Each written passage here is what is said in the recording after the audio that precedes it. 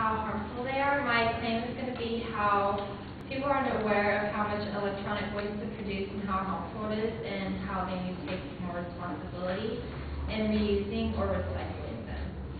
Um, electronic devices are discarded each year, whether it's because it's out of date or because it doesn't work. Um, we live in a society that's obsessed with technology and people want the best and newest devices, so there's a lot of um, e-waste, as we call it. E-waste can um, include televisions, VCRs, cell phones, batteries, things like that.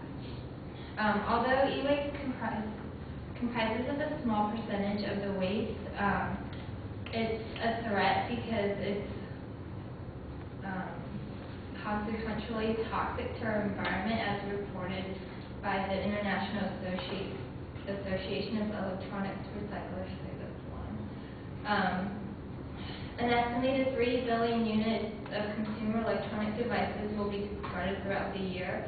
And even the UN reported, uh, the UN Environment, Environment Program reported, if all sources of electronic waste are tallied, it could total 50 million tons a year worldwide. Um, that said, only one-tenth of electronic devices are recycled each year. Um, but that, if, when they're not recycled, they're just um, thrown in landfills, which are filling up each year, and that's dangerous because um, heavy metals like chromium, zinc, lead, copper, selenium, that is, and arsenic um, are they can uh, leach into our groundwater.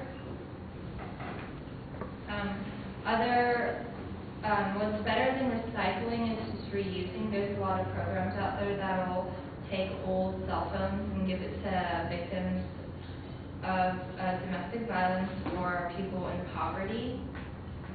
Um, and it's bad not to recycle, reuse electronic waste because according to Jim Puckett, who's the head of the Basel Action Network, we in, develop, we in the developed world get the benefits from these devices, but when our equipment becomes unusable, we externalize the costs and liabilities to the developing world.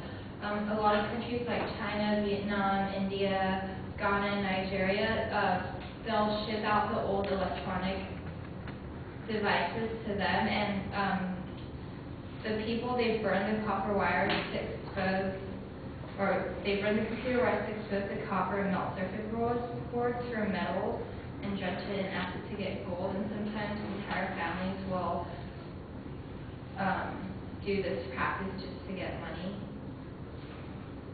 Um, my conclusion is e-waste isn't a problem that will eventually go away. Technology every year is getting more advanced and more elaborate, and with that comes um, more e-waste, and that we should be more conscious in recycling.